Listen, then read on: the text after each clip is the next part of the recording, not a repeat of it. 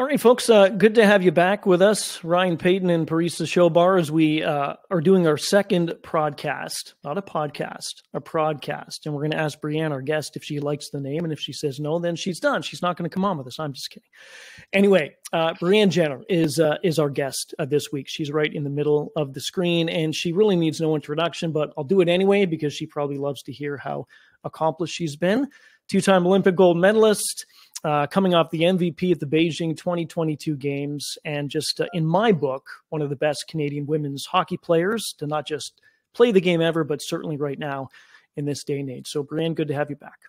That's great to be here. I'm excited to join you guys today. Always appreciate the time, whether it's on this platform or another platform. So, we haven't talked in a while. Parisa's going to jump in in just a second, but I want to say this uh, July 2019 was the special month for you as you're looking. Yes, it was. So I want to say congratulations because I don't think I talked to you since then. I may have, but everything kind of meshes into each other. Um, congrats on that. It was the wedding day for you, and I saw pictures. It looked absolutely amazing. And I saw the parents. And for those that don't know, Brianne's dad was my grade six homeroom teacher. So just anyway, talk a bit about that and congrats again. Thanks so much. Yeah, I had to think for a second. I'm like, July 20. I saw you. and, and, and, and I was thinking, I hope I have this correct. Anyway. in my defense, I was thinking maybe it was hockey wise, but no, uh, right. uh, that was obviously a, a really special um, moment for us and for our families. And we kind of snuck that in right before COVID hit. So one of the last kind of big weddings in a while. Uh, but life's been really good. We now have a daughter who's nine months old, so things are moving Congratulations. We're, just, we're very happy. Thank you. Parisa. That's impressive. Wow, that's that's great. I mean, that's been what was what three years ago now, 2019. I mean, so you've gone a far far uh, way since. And I want to ask you. I want to get right into the hockey. I know you debuted on Team Canada in 2010. Mm-hmm. Did that change your perception of the game and how you performed in the future? Did that shape you in any sense? Definitely. I mean, being, you know, having the opportunity to play with your idols that you grew up watching on TV and, and getting your first kind of crack at the national team. I remember just being wide eyed and, and so excited to be at my first camp and uh, probably a little bit timid back then, uh, mm. lacking a little bit of confidence as an 18 year old coming in. But I, I learned so much from that experience, even in those, you know, those first few years where you know you're trying to crack the roster you're trying to become a mainstay. Um, it was challenging for sure to try to, to carve out a space but i learned so much from from those players and those veterans that i had the, the chance to play with. And i think you know those early years early years on the team left a, a big impact on myself. What what were some of the things that you learned ones that maybe stood out over the other ones? Because i'm sure you learned a lot i can only imagine well, I think back to that team, that era of Team Canada when I was first yeah. coming into the program, I think the thing that really sticks out for me was just how hard they competed, especially in practice. And, you know, when you're coming from high school hockey or junior level hockey, and then all of a sudden yeah. you're out there with Team Canada. It's a big jump. Uh, you notice, you notice yeah. the battle, you notice the grit. Um, and I think every, every year on Team Canada is something that makes that group special. Obviously it's, it's the, you know it's an all-star team of you know, not just not just the best hockey players but just some of the best teammates. But for me that that team it was really about how they they challenged each other and they competed with each other in practice. And that's kind of something that um, you know helped develop me um, at a young age and set me up for for my career. Do you think that made you a more competitive player or do were you more timid playing with those um, high more high performance level players? I think I looked up to the to the veterans on that team a lot, and I wanted to emulate what they did. So I, you know, I'd watch a lot and, and see. I'd watch, you know, Caroline Ouellette, Jayna Hefford, see how they carried themselves, Gillian mm. Apps, um, all those veterans on the team, and I think, yeah, of course, you got a little bit of nerves when you're coming in um, as a young kid, but I wanted to be just just like them, and I wanted to eventually be able to, you know, make a huge impact on on the senior team, like like each of them did. So, I think if anything, it motivated me. And a huge impact uh, you've made and and you've had. Um, it's been a crazy uh, three years, two plus, whatever it is. It feels like it's been 10 um, since COVID. Um, talk about the Olympics. You going in 2022. I know it culminated in the gold medal and you won the MVP, but give us a sense as to how different it was based on where the world was at and is still at. I mean, a lot of places in the world are still not completely fine. I don't think we'll ever will be, but we've come a long way since. But what's the difference that you noticed kind of when you went in the Olympic Village, different things like that compared to some of the other Olympics you've been at? Uh, completely different. Um, yeah. Yeah, we didn't have you know these protocols kind of the fear of outbreaks in the back of your mind. We didn't have all those different um, distractions to to deal with. But that being said at every olympics there's usually some some distraction some storyline if right. if you let it get to you. Um, you know the past the past couple years were to be honest pretty challenging for for our program. Um, you know up until this season we we had a long gold medal drought. Um, we were doing a lot of soul searching. We also had at the same time um, the folding of our professional league in, in 2019. Mm-hmm. So we were coming out of quite a few seasons of not a lot of hockey, just training in small groups, training in our basement, training in masks. Um, and the, I guess the, the light at the end of the tunnel was that we are all working towards this Olympic year and we were getting through it together as a group. And we did, you know, a lot of meetings online on Zoom, um, you know, a lot of just training on our own. And when we came together, we actually were able to have a World Championships at the start of this past hockey season in August 2021. Yeah. We were just over the moon to be able to have a chance to to do what we love and to compete and show off all the hard work that we had been putting in. And this whole this whole year, there was more ups and downs that came with it, but we always just embraced it. It was kind of our attitude that you know the messier this thing gets, the the weirder things get at this Olympics.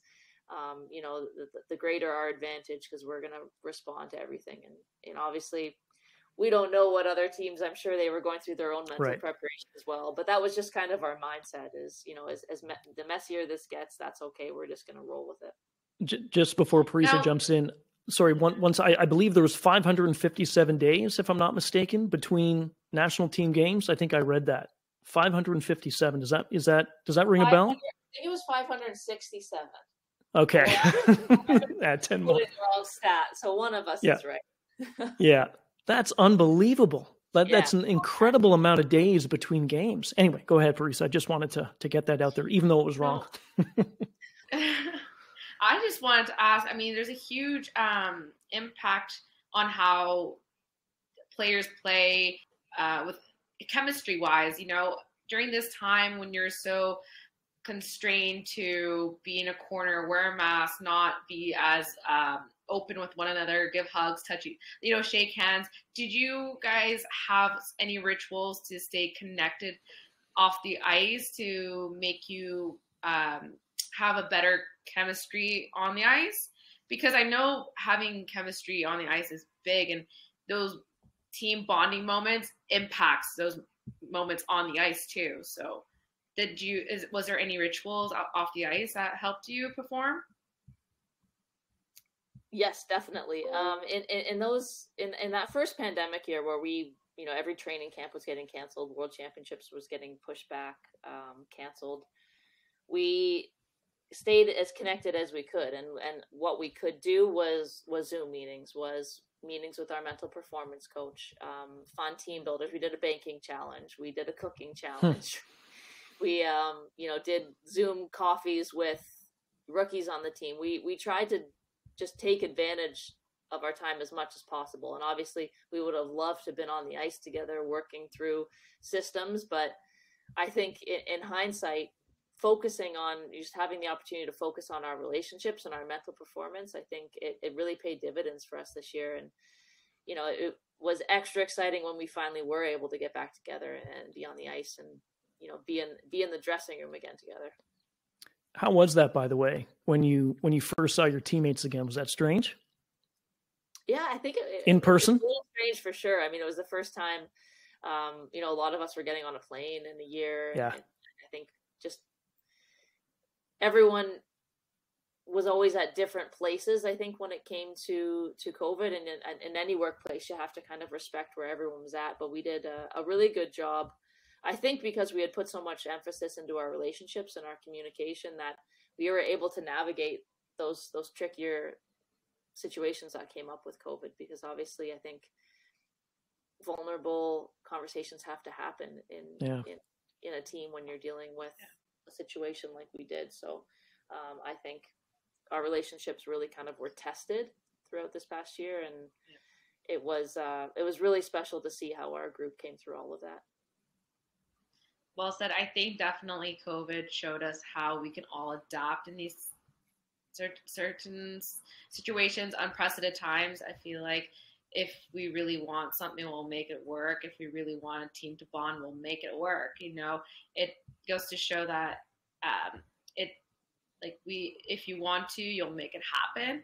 And it seemed like your team did, which is amazing because it mental health was a huge, huge priority during this whole um, pandemic because so many people felt isolated and so many people mm-hmm. felt, you know, disconnected from their families, uh, teammates, colleagues. So that's good to hear. And I want to ask you I hear you went to Appleby College in Oakville.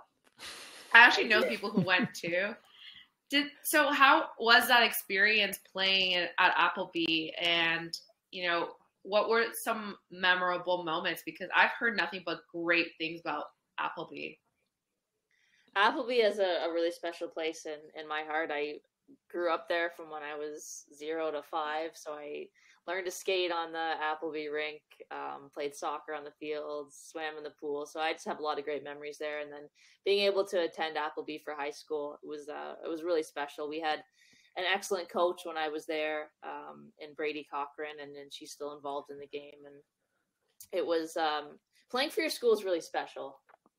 You play playing for your community, and obviously Appleby's a, an excellent school as well. So I came out of that those four years really prepared for being a student athlete at the collegiate level. Um, I actually think I was probably busier as an Appleby student than when I went off to university. Uh, they really like to fill up your plate with lots of different things at Appleby, but yeah. it was uh, it was a really special four years, and and obviously I love going back and visiting campus because it's where where I uh, learned to raise the puck, skate, all those fun things. Uh, I remember. I mean, I yeah. didn't get to the level that you did, obviously, in in hockey, Brianne. But yeah, I was there too. And and there's, I I, I think you said it best when you said there's something about playing for the community and and the school. And I remember, um, uh, I was on the varsity team my final year, and at that time, that was the only time that you know fans would really pack the stands and students would come out, and you'd go down the street to OT and and other yeah. different schools like that. Nichols and Buffalo. I remember making a trip to Nichols and we got absolutely demolished by this team. And I wasn't big, full disclosure. And Parisa, again, we're just getting to know each other too. I was so small when I was young. I'm not big this way, but I'm I'm I'm over six feet now. But I was so tiny when I was playing hockey. I remember going to Nichols in Buffalo and going on the ice thinking, what am I doing? Like these guys were men, and I forget how old you were and, and whatever. So anyway, just back to what you were saying. I remember um, the Nichols trips some, though. They had, do uh, you? They had the uh, hostile crowd there. Oh yeah, mean, really mean. anyway, Parisa, go ahead. I just wanted to share that. No, I mean that's that's amazing. I feel like I've had those moments too growing up. I played yeah. competitive soccer, and when I played varsity soccer for my high school, um, there was definitely that sense of community I felt. So it's amazing that, you know, a common thing sports have again, playing varsity or not, it's bringing people together, you know, cheering a team on and having that sense of culture is a really, really, um, that feeling is irre- irreplaceable. Honestly, I yeah. have nothing but great memories. I even like with the football team at my high school, the basketball team, and uh, we didn't have a hockey team, but like where I went to university, that are the junior hockey team there was the NHL over there. So I can not It was the one of the best moments, honestly, to watch a live sport game because I think it was really the sense of community and. I really feel like when you're not in a city, or a big NHL city, especially a big um, was it the Premier Hockey Federation city as well, where fans are just cheering on a professional league. When you're cheering on a high school or a junior team, it's it's it's warm. It's a really sen- warm sense of Yeah. feeling, and it's there's nothing that replaces it, honestly, because you're not pl- playing to get paid. You're playing for your community at the end of the day. Mhm. I also want to ask so the game of women's hockey has changed so much since obviously you've started. Um, it's gone a long way. There's been so many great changes. Do you have any goals in the future for how you see women's hockey change or and how do you see it changing in the future? Well, I think the sport is at a really unique place where um, the product and the interest in it is at an all-time high.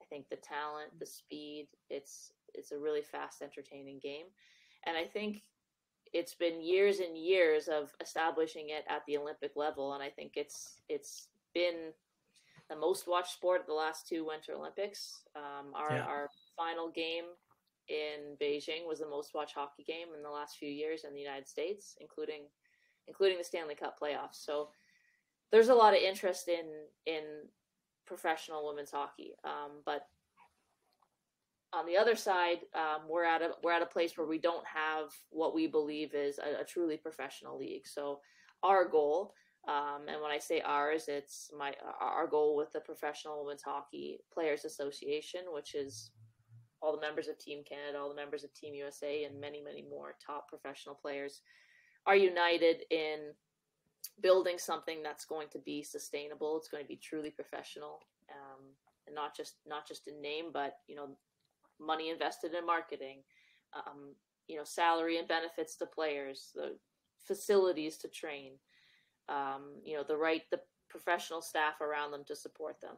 Um, and, you know, our goal is not to have million dollar contracts right off the bat. Of course, we'd Mhm. love to see that for women in the future and, and, and Yeah, that'd be nice. but our goal is just for those players that are seen as professional women's hockey players to actually have the resources to do that. And and so many of our top players work nine to five jobs and um, and are expected to to be able to perform at the highest level. So our our, our goal in coming together um, and in staying together and staying united um, right now is is to to see that through to see a, a truly professional league come to fruition and we're working daily weekly um, we're pretty confident that something is around the corner I want to get your thoughts on this. You know, Um, you mentioned benefits. yeah, go ahead, go ahead. Yeah. No, I just wanted to ask you about the benefits part because, you know, in women's hockey, I've noticed that you're wearing the full face gear, the shield, but men aren't. And it's because, you know, if women get hit in the face and lose a tooth, you don't have benefits to cover that. It's coming out of your pocket. Or, you know, it's not the same. You're not getting paid the same as an NHL player who gets hit in the face. They can go tomorrow to the dentist, get that covered, or pay out of pocket, however it is. It's just, it's insane the comparison. yeah I, well i think there's a f- a few reasons that we don't want to put the put the visors on we've actually Yeah. been asked Yeah, about fair. that um, and i think it would be cool for people to see our faces um, but you know what i think it would take us a couple years to adjust Yeah. because we we we don't have to be as careful as the men with our high sticks. So I feel like people would be cut up for a couple years.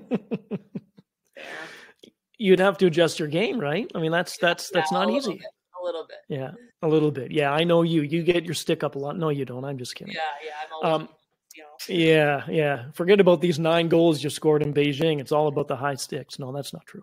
Um, speaking of Beijing, I want to get your thoughts on this because when you at the U.S. and Canada um, got together again for a gold medal game, whether it's at the Worlds or or the Olympics, um, there was an article that came out that basically said that the United States and Canada's dominance are putting women's Olympic hockey at risk.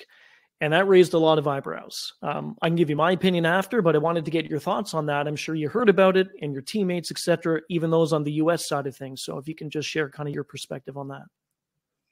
Yeah, um, I think it's a bit of a silly argument, to be honest. Um, when you look at the money invested by Hockey Canada and USA Hockey versus other countries, I think a lot of it can be explained in in that.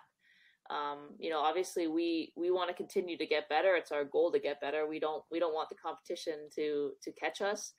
Um, but it the reality is is if you invest in your program and invest in your athletes, I think that's where you're going to get some results. And I think, um, you know, I, I, I don't believe that you know a lot of those other countries are putting enough investment into into their programs and into their women mm-hmm. uh, and i think that would be uh, a huge change i think honestly i think the, the the biggest change though would would come through a professional league i think you look at the men's side and and and what the nhl has done for hockey as a global sport um, you know, you, you, look at a player like Leon Draisaitl playing out of Germany, and, right. and would he be in that position if it weren't for the NHL. So I think if we mm-hmm. were to have a a true professional league that could entice those European European players over to North America as well, um, so that is best on best, not just you know Canadian and, and U.S. players in that league. I think that would help the sport grow um, enormously. Um, but I think to to critique women's hockey in the Olympics, I mean, it's the most, it was the most watched event, like we've talked about. Yeah. I just think, um, you know, focusing on just, just the negatives. And I, to me, it's just, it's just too bad that we're, we're using that platform to pull out yeah. a reason why, you know, the most popular sport in the Olympics and, and a really exciting sport that's trying to give more opportunities to female athletes and I think it's just up. It, it's a little bit disappointing that that's what we want to focus the conversation on, rather than look at how how far every single team has come. Especially agreed. Because I, I mean, you look at where every country's come in terms of development. Um, everyone's getting better. Everyone's getting better. So it's it's cool to see that there's just such a high level of talent now. Well said. That's insane. I mean, we've come such a long way and i'm so excited to see where it leads to and another thing i wanted to touch on actually is i saw that you threw the first pitch for the blue jays this year for the opening weekend how was that and how, what did that mean to you like what was what was it like being in that in rogers center around all of those fans, around Blue Jays players, or it's just a different dynamic. Like, can you give me your experience, share those thoughts. I want to hear it all. Okay, honestly, it was the most terrifying thing I've ever done. Way scarier than like a, doing a shootout at the Olympics. Like, did you warm up at all? On this? No, I didn't warm up. You didn't. Um, okay. You stand on the side of the field and you kind of watch watch the players throw the ball around, and you get the um, the spiel of what you know when they call your name. This is what you do, and don't step on the on the first base line, and all that stuff, yeah. and and then it's all of a sudden you're it's just go go go. So you run out there, throw a pitch in front of forty five thousand people, and the only thing you're thinking is don't screw it up, right? Because you yeah. don't make the highlight for throwing a great pitch down. It, you make it if you send it 10 feet wide so um, but it was it was really really fun we had a blast that day um, the jays just have been so welcoming to all the canadian olympians and this this whole season they've had so many different athletes out so it's really cool to see them recognizing um, olympians especially after i think this the the stress of not knowing what the Olympics was going to happen and what everyone's yeah. been through over the last year. It was really cool to to see the organization recognizing so many Olympians, and it was really special for us too because it was my daughter's first Jays game, so it was a good story. We got a baseball for her from from her first wow. Jays game. It was a little bit of dirt in it because Mama threw it slightly short, but other than that, it was a sinker, right? it was a sinker. exactly. Still an impressive milestone. I can't get over that because eh, I feel like not yeah. a lot of professional leagues are doing that. You know, recognizing women's hockey, recognizing a women's sport. You know, I feel like that was a great step, and you've hit a great a milestone. You're inspiring a lot of young women, definitely. It's good to hear that my pitch inspired so many people. it did, even if it's in the dirt. Well, it doesn't I mean, matter. be recognized there. It's yeah yeah, no, it is. I'm sure. I'm sure no NBA player is making a great pitch either. Did, I wasn't it Post Malone, someone like Post Malone who had a really bad pitch. See, those That's, are the ones that, that made a highlight. Yeah, I, yeah, yeah there's true. been some there's been some really bad ones. Yeah, there's been some bad ones, but Brianne's was good. It was fine. Um, last one for me, Brianne. Um, you you have a coaching academy, a clinic, uh, I believe, coming up in July. Talk about that, but also too, Marie-Philip Poulin. Um, she was hired on as that part time player development consultant with Montreal. Any coaching kind of that type of thing NHL wise for Brianne Jenner down the road? Is that something you've thought about, even though, you know, we're still living in the present, but kind of a, a, a future endeavor for you? Yeah, I mean, I think coaching is definitely something that interests me. Um, you know, perhaps something that I'll, I'll, I'll look into more seriously when, when the playing career slows down. But um, I had the opportunity over the last few years to, to work with a couple university programs and, and you know work with some other great coaches and, and pick their brains. And I think you know hockey's given me so much. I'd, I'd love to be able to to stay involved in the game and and you know be able to work with the next generation. And it's so exciting for for our hockey academy. We we base it out of Oakville. We're at 16 Mile Creek and this is the first first year and since 2019 that we're able to host it. So we're really excited. Amazing got a great staff, uh, several national team teammates, several uh, players with international and professional experience, and it's it should be a really really fun week. As I said, the last the last couple years we we've only been able to run virtual camps, so we were trying to make the most of of our situation, but it'll uh, it'll be nice to host a hockey camp on ice again. That's for sure. Seems like there's going to be a lot of diversity. I have one more question for you too. So the, Stanley Play Stanley Cup playoffs game is happening right now. Tampa Bay Lightning against Colorado Avalanche. The first game is on Wednesday evening this week. Do you have a favorite team and do you know do you predict any winners this year? Do you think Tampa Bay is going to have a repeat? Um, you know what? It's tough to bet against Tampa. Um, Good answer. Not against Jon Cooper and, and, and his guys and what they've been able to do. Um, it's definitely going to be an exciting series, but I think I, I'm going to say Tampa in seven. Uh, uh, yeah. You see, yeah. I'm good. I'm good with I'm good with anybody winning the Cup final. Seven games for me. It doesn't matter who wins. You just want to see it go great. as long as possible. That yeah. would be great. The that most exciting hockey game that I'm looking forward to, though, is the U18 women are going for gold tonight against the US. So right, eight thirty. Oh, well, I don't, I don't know what this podcast will come out, but I'll, I'll be watching no, that tonight, and my money's on the red and white as always. And it's it's good too. I um and, and, and then, yeah, and then and then we'll let you go. But you, have been very um, supportive of that on Twitter. You know the U18s, and I think that's so good. Kind of circling back to what how we started the whole discussion with you you came in looking at all these women who came before you, you know, wide eyed, thinking, my goodness, there's so and so. I watched them. There's so and so. And now you have younger ones looking at you like that. So just ended up by telling us, how does that make you feel? You once looked up to people and, and women, and now they look up to you as as girls who want to be like you. It's a little bit surreal, to be honest. Um, I remember what it was like to to be in their shoes, and you know, I've I've had so much fun just being able to I, think the coolest thing about you know winning Olympic gold medal or wearing Team Canada jersey is when you get to share it with with young kids and just to see their eyes light up. And and I you know I remember what that was like for myself and how inspiring it was. And um, you know it's a responsibility that I don't take lightly and and want to be the the best role model I can for the next generation. And it's been really fun to watch these young girls battle and one you know a few of them or what, one of them I should say was actually a um, hockey academy graduate from from my hockey school. Oh. So to see her wearing the jersey Excellent. and be able to cheer her on, it's uh, it's pretty special. So I'm excited to watch them go for it tonight. Yeah, good for you. Oh.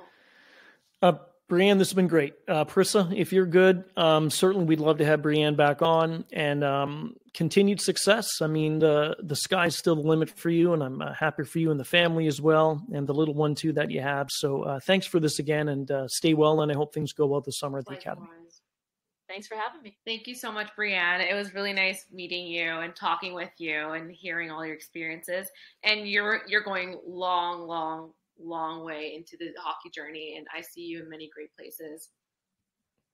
Thank you, Parisa.